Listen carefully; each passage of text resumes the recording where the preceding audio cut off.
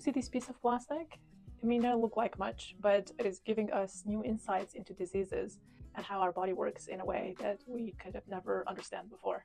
My lab is using this to model urinary tract diseases and to find better treatments. So we can put different types of cells on these chips and then um, mimic the microenvironment of the organ, like flowing air or um, fluids through these chips and also applying uh, mechanical forces as just happens inside of the body. You can even add bacteria on these chips and then watch the process of infection.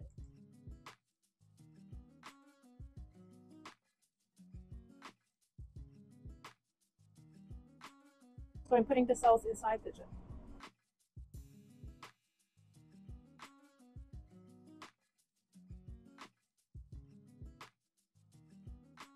Under the microscope, we can see how the cells inside of the chip grow and become functional the layer of the tissues that we can add things like toxin and drugs and see how they respond. So using this chip model, we want to better understand how the urinary tract works when it is healthy and when it is diseased. And with that information, we can come up with new treatments that can help patients with UTI and a lot of different diseases.